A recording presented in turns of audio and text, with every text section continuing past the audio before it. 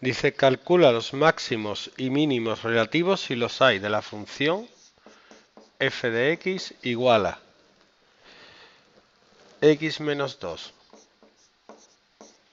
por x menos 8 partido x cuadrado. Muy bien.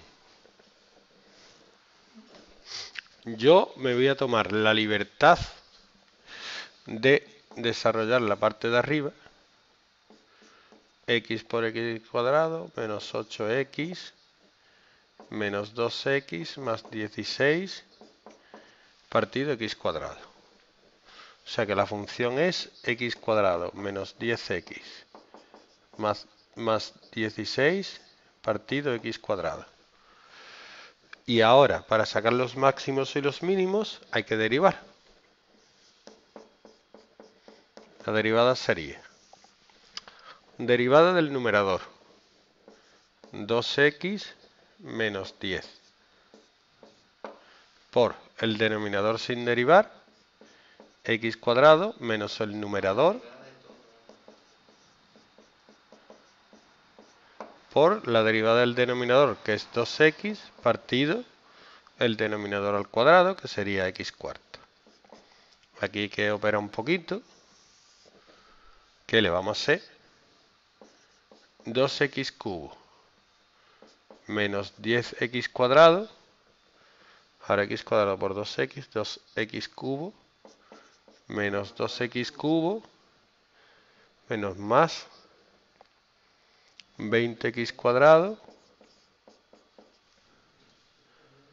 menos 32x partido x cuarta.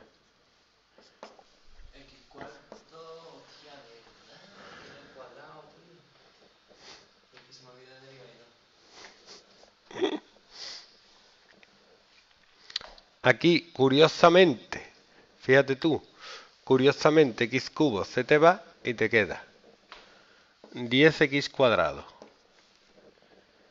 menos 32x partido x cuarta. Esto se puede simplificar sacando una x y te queda 10x menos 32 partido x cubo. Fácil, fácil.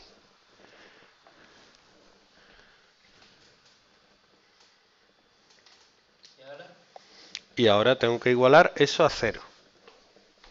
Igual el numerador a cero y me da 3,2.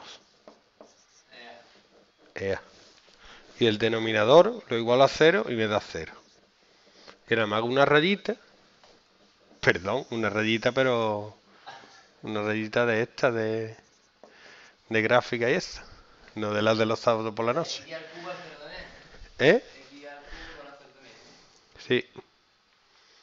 Por si. Muchas veces no cambia, pero otras sí. Hay que tenerlo en cuenta. Si cambia, pues ya, veremos ahora.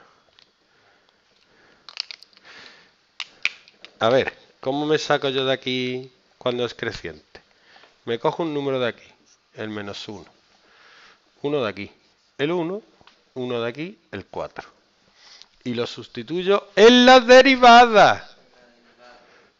Si sustituyo menos 1 me queda menos 42 partido menos 1, que es más 42, que como es positivo, quiere decir que en este intervalo es creciente.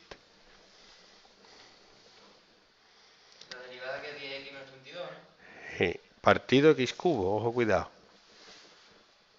Ojo cuidado.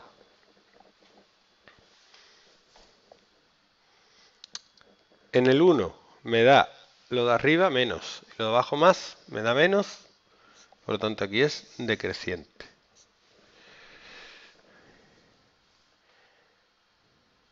Y en el 4, arriba me da positivo, y abajo positivo, es positivo, creciente. Dice, eh, calcula los máximos y los mínimos. Ojo, cuidado, esta tiene truco. Porque en el 0 realmente no tiene un máximo ni un mínimo, es una asíntota vertical. Entonces aquí tienes que poner que es una asíntota vertical. No es ni máximo ni mínimo. Ojo, cuidado. Y en el 3,2 sí hay un mínimo. Porque... Pasa de, crecer a crecer. ¿Cómo que ni denominador? En 3,2, ¿tú cómo sabes que no hay una asíntota? Hombre, porque lo que me da cero es el numerador. Es cero partido de un número es cero. No es una asíntota porque si yo lo sustituyo aquí no me da, no me da infinito. El problema aquí es el cero que está abajo aquí molestando. Toma ya. ¿Cuánto hemos tardado?